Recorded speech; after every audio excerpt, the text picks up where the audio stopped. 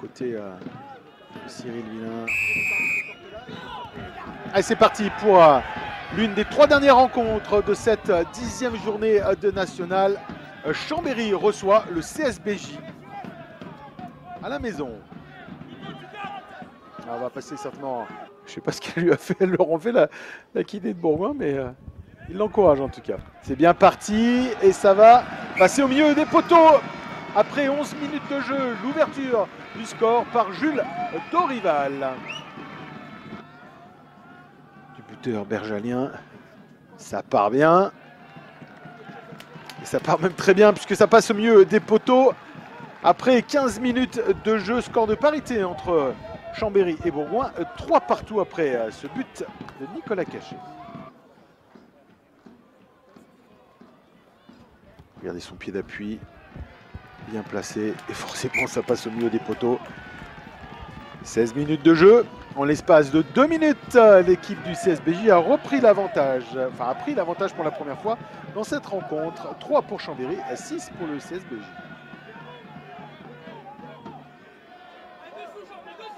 Regardez hein, le pied d'appui hein, pour tous les jeunes, euh, jeunes joueurs, hein, c'est le pied d'appui qui compte. Et sa jambe euh, de frappe hein, qui est vraiment. Euh, qu'il utilise, hein, vous le voyez, hein, vraiment comme un, comme un golfeur. Regardez euh, sa main droite aussi.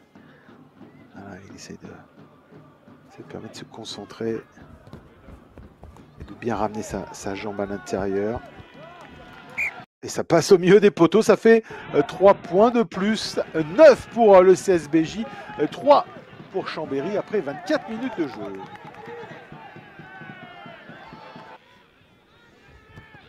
Bien équilibré, ça part bien, c'est tendu et ça va passer au milieu des poteaux.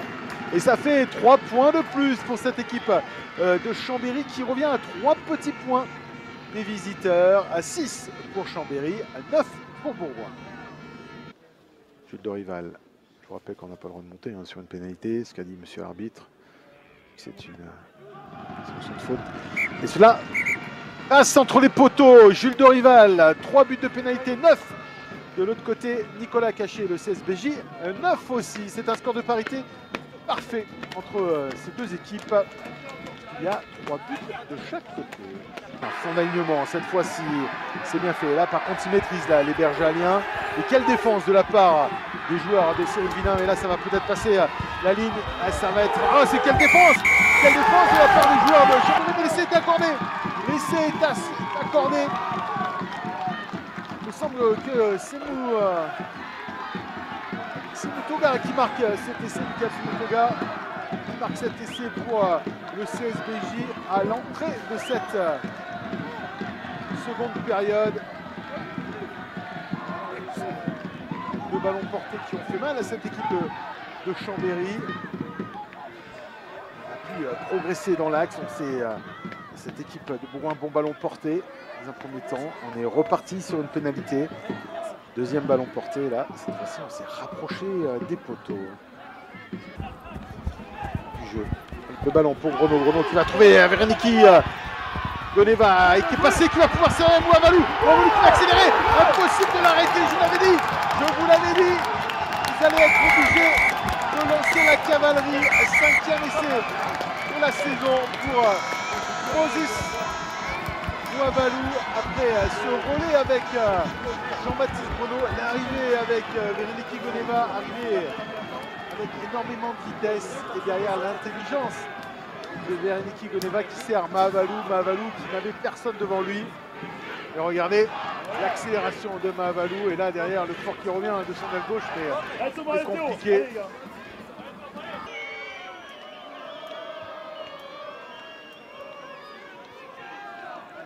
Nouvelle opportunité pour euh, la cacher. Cette fois-ci, j'ai l'impression que ça part bien.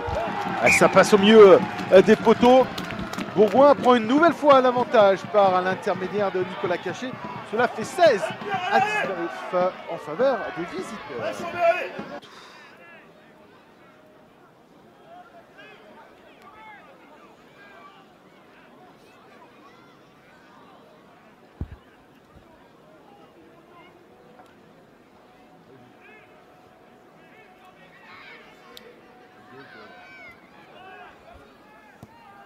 Ça part bien et ça va passer au milieu des poteaux. Et euh, Jules Dorival qui permet à son équipe de revenir à 19 partout, à moins de 7 minutes de la fin de cette euh, rencontre. Qui est passé euh, par le sol. On tient toujours le ballon. L'essai peut-être, oui, l'essai On l'essai de la victoire L'essai de la victoire pour les Pergaliens qui vont se refaire la cerise. Et quelle déception pour les joueurs de Chambéry qui avaient très bien mené leur barre jusqu'à présent. Oh le coup de grâce, le coup de grâce de Nicolas Cachet, lui qui avait raté euh, l'opportunité à deux reprises hein, pour faire la victoire à son équipe et qu'il a bien crucifié les joueurs de Chambéry par les 7 angles de course à l'intérieur, le raté au plaquage de Nicolas Cachet qui marque 7 essais de tenter, euh, j'imagine, la transformation lui-même de cet essai. 24 à 26. Ah, le score de parité aurait été euh, intéressant pour euh, les deux équipes hein, parce qu'aucune équipe n'a vraiment pris le dessus sur l'autre adversaire. Ah, c'est dommage, cette équipe de Chambéry qui va pas réussir à enchaîner trois victoires de suite. C'est le gros coup hein, de cette équipe de Bourgoin. Tentative de transformation réussie. Et score final 26 à 19, victoire du CSBJ ici à Chambéry. il se serait satisfait grandement hein, d'un match nul. Les joueurs de Pascal Papé Sébastien Tiusborg, ils se remettent enfin la tête à l'endroit. Et rien n'est perdu pour cette équipe de Chambéry qui a fait une belle rencontre, qui a peut-être été un peu mitigée, qui a eu euh, quelques problèmes hein, sur les lancers en touche. Mais euh, tout va rentrer euh, dans l'ordre hein, du côté de Chambéry. Ils vont bien sûr se remettre la tête à l'endroit. Les joueurs de Cyril Villain. Ça a été une belle rencontre. Merci de l'avoir suivi avec nous hein, sur rugbyzone.tv.